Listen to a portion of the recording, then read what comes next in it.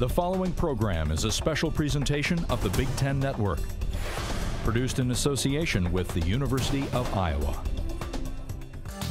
Coming up in this episode, a world class quartet celebrates 10 years at Iowa, turning information into knowledge, informatics at Iowa, predicting the future in the Iowa electronic markets, and the future of flight training at the Operator Performance Lab, next on Iowa Magazine.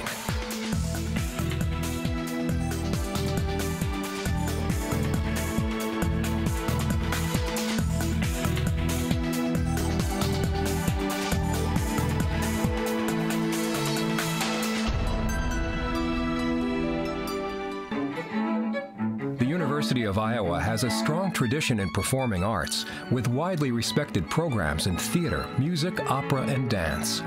At the heart of UI's thriving classical music scene is the Maia Quartet. In the last decade, the Maia Quartet has received wide acclaim, recording, performing around the world, and serving on the faculty of the UI School of Music. When I joined initially, I was kind of blown away by the beauty of the sound. It's intense and difficult and, and wonderful enough to, to be able to play individually. When you step into a string quartet, there is a whole new situation. I think that from the moment we all played together, we kind of knew we were like, oh, this feels really good. It was very exciting. In 10 years at Iowa, the Maia Quartet has been widely recognized for its innovation and versatility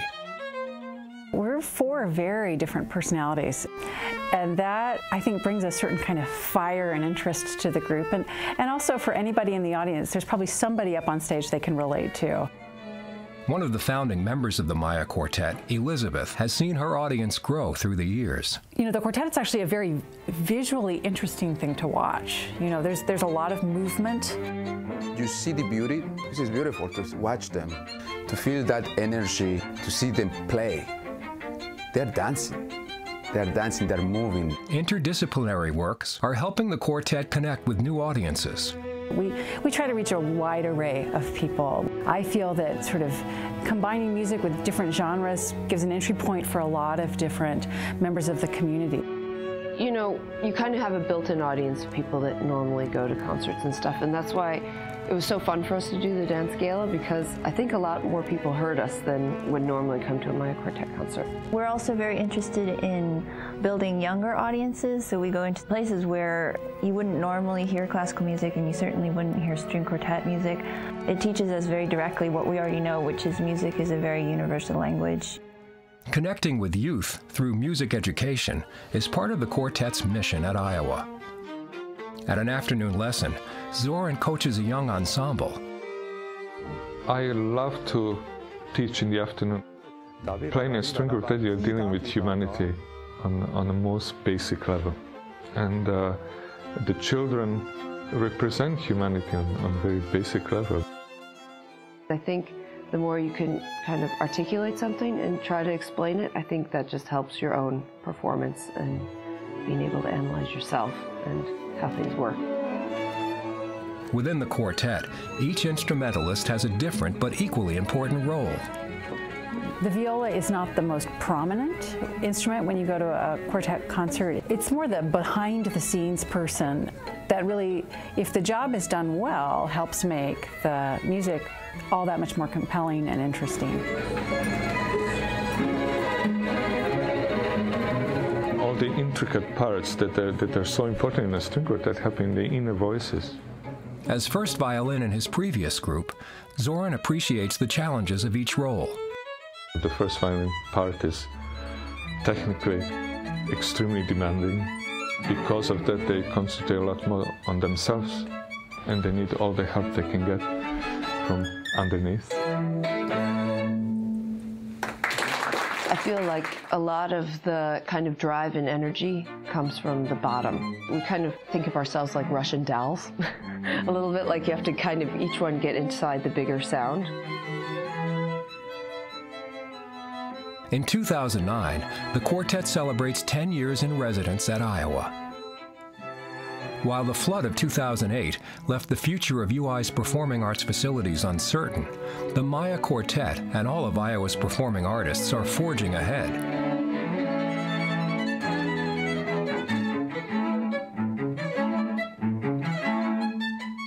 we've had to be very creative in terms of what we're doing, space-wise, performance-wise. You know, we don't have a venue.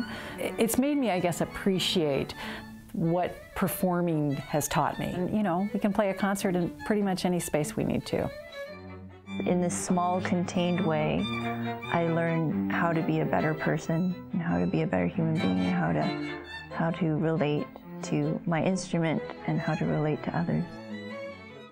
You know, for me personally, the joy of life is to, to be in a situation where you're constantly challenged to learn and to grow.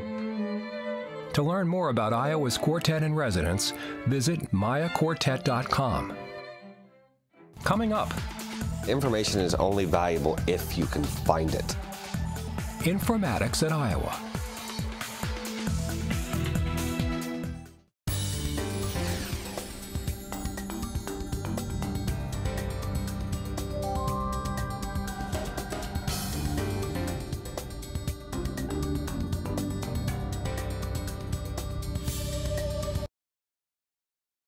We live in a world of information. Computers, the web, search engines have all become an indispensable part of our daily lives and have transformed the way we create and share knowledge in everything from education, healthcare and business to media and communications. Informatics is a field of study around the issues of people and information technology, and the University of Iowa's graduate program in informatics focuses research on transforming information into knowledge. Informatics is dramatically important in how we approach very complex problems that face the world these days. The generation of new information uh, in almost every discipline is so vast that we need the, the skills and the expertise and the techniques that informatics can bring to bear. Informatics is essentially the study of information, technology, and people. In contrast to information technology, informatics focuses less on the technology and more on information. Working from a multitude of disciplines, informaticists apply IT and computing to real-world problems and issues. It's applied computing. That's basically it. The idea being that we have this incredible amount of data which is easy to collect, cheap, but people don't necessarily do anything useful with it. Turning that into actual knowledge that you can do something with is the part where we come in. Informatics covers a wide variety of research, from programming and database work to information architecture. Information is only valuable if you can find it. If Google gives you 75 million results for something, you're not going to look at 75 million. You might look at the first 20, uh, which is what research shows. But there is an unbelievable amount of information there, uh, and it's very valuable information. What my main concern is, is how to make these finding aids more usable Informatics also examines the algorithms behind familiar tools like search engines. In the setting of library, you have a lot of access points. You have you can you can search by uh, author, you can search by uh, by subject, you can search by publisher. So these are the information that people will, will search for. So that's also part of the information architecture. How you organize the information so that you can access in an easier way.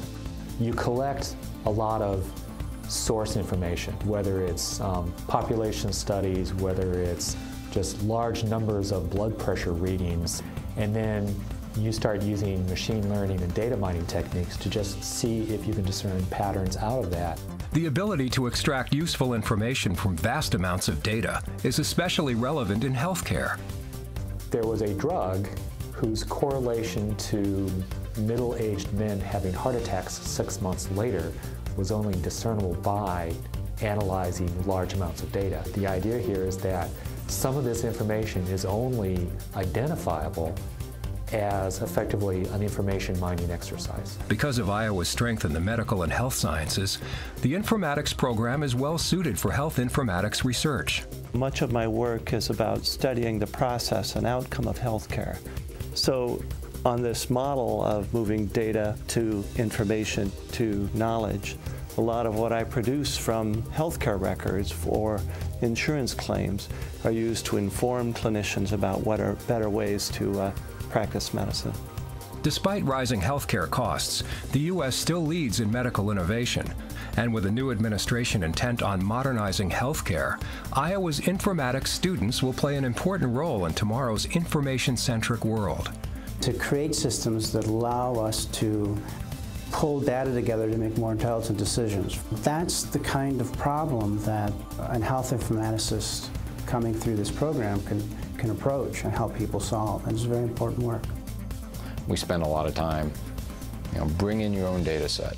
Tell me what you're interested in, and we'll spend the semester attacking it and pulling knowledge out of it. In addition to health informatics, Iowa's commitment to interdisciplinary work makes the UI an ideal place for meaningful research in the fast-growing field.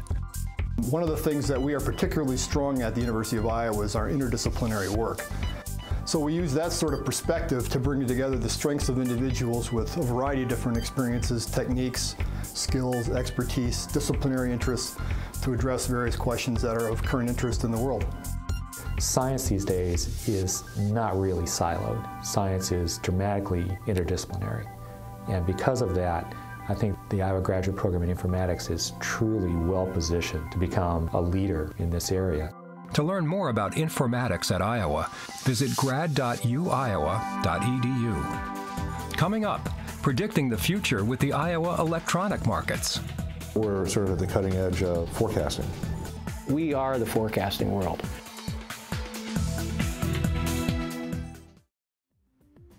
Predicting the future is a difficult task. But in the business world, we try, with a market known as the Futures Exchange, essentially forecasting what the prices of valuable commodities will be in the future.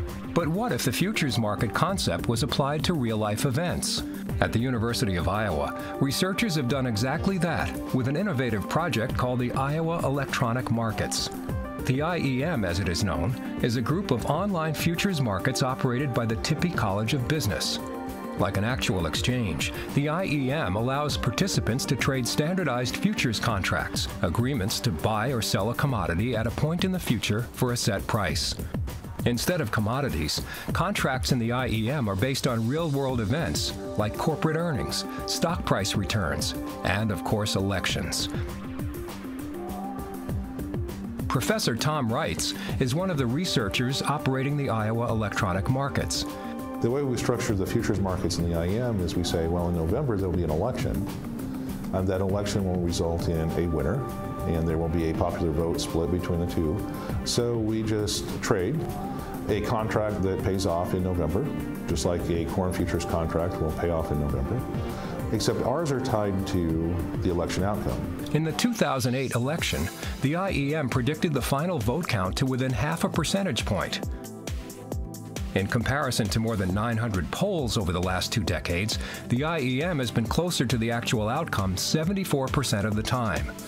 Iowa's political science department, which pioneered election forecasting, acknowledges the accuracy of the IEM. It's a market strategy, it's a trading market. Now there's more than one. The IEM was the first, it's the best.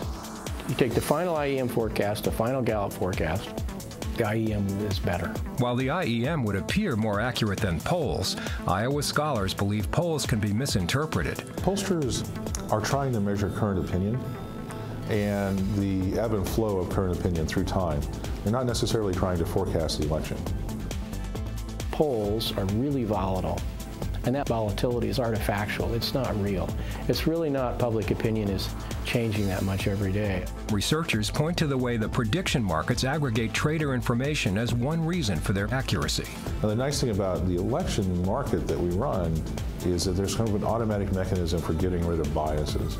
If a trader comes into our market and they're heavily biased, what they typically do is they come in and they spend their entire budget on that candidate's contracts and then they hold them until the election. Since they've stopped trading, they stop setting the market prices that we use in our forecast.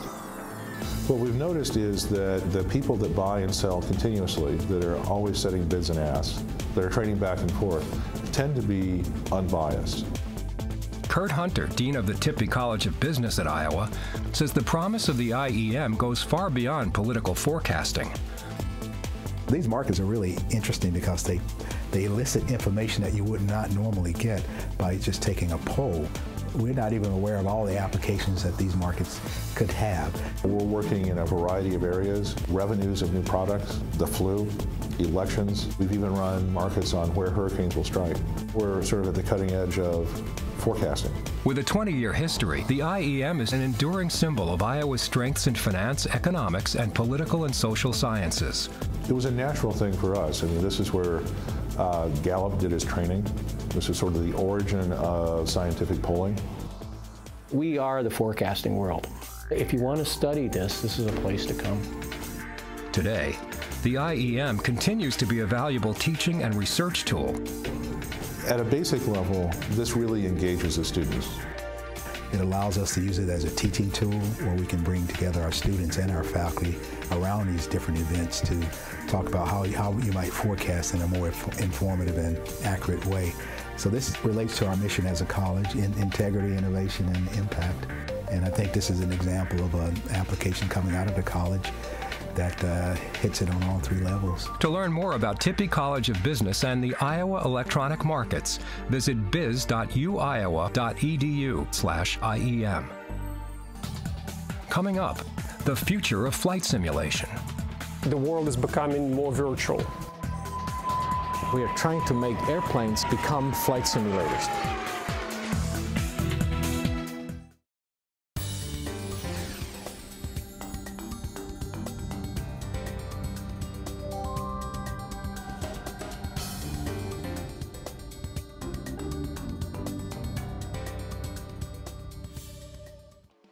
Flight training is a complicated science and a field that is constantly evolving.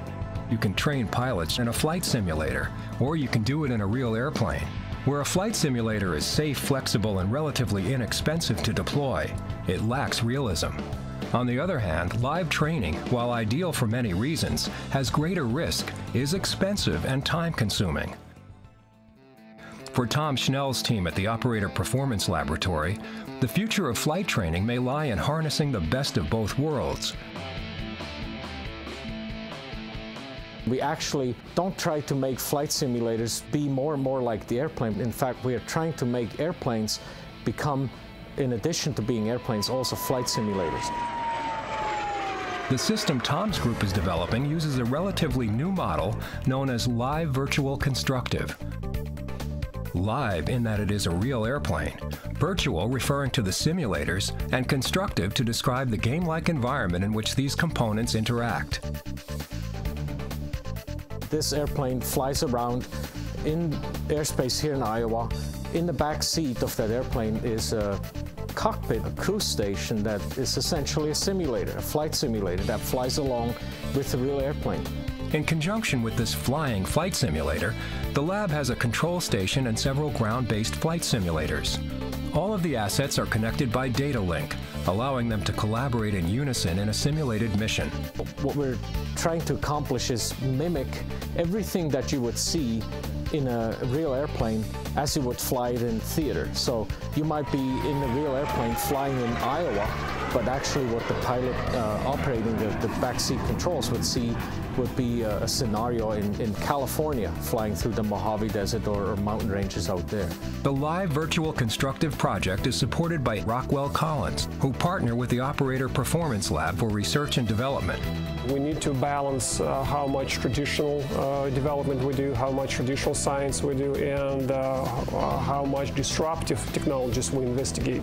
And that means that we go and look for something very untraditional. Schnell's simulation research is innovative in that it focuses quality of training using various human metrics we're not just trying to build a fancy simulator involving a real airplane, but we're actually unique in the sense that we measure physiological and neurocognitive signals on the pilot while that pilot is performing a simulated mission in the real airplane. With those, we've developed algorithms that take that information and give us a sense of how high the pilot's workload is, uh, how stressed, how fatigued the pilot is. Um, and with that, we have a better sense of what's going on with the pilot, and we're able to better design the, the machine around that to better suit the pilot's needs. Live Virtual Constructive is just one of the many innovative projects at the Operator Performance Lab, which applies human factors research to design and evaluate a wide array of transportation systems. Academically, I think this is a very unique program in that it involves undergraduate students, graduate students, and staff uh, all working on, on a relatively challenging goal We have to learn how to work with uh, some real serious constraints.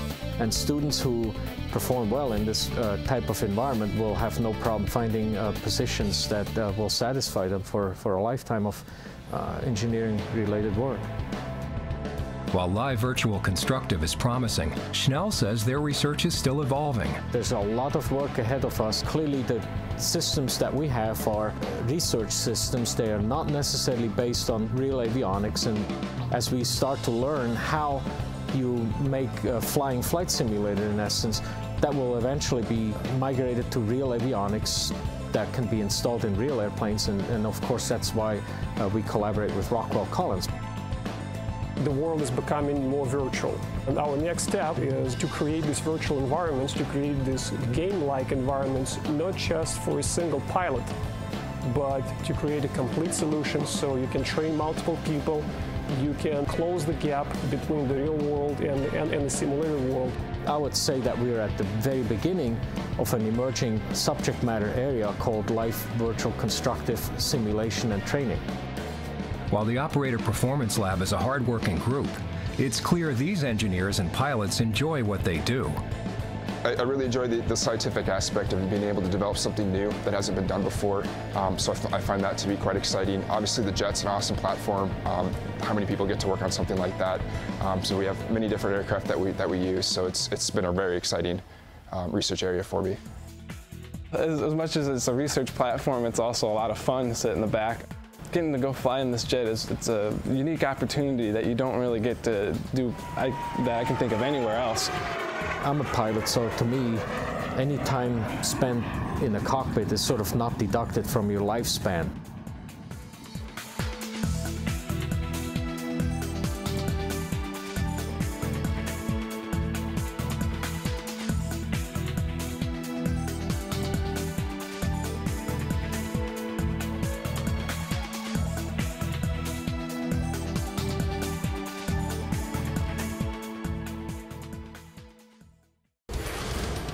Preceding program was produced by the University of Iowa in association with the Big Ten Network.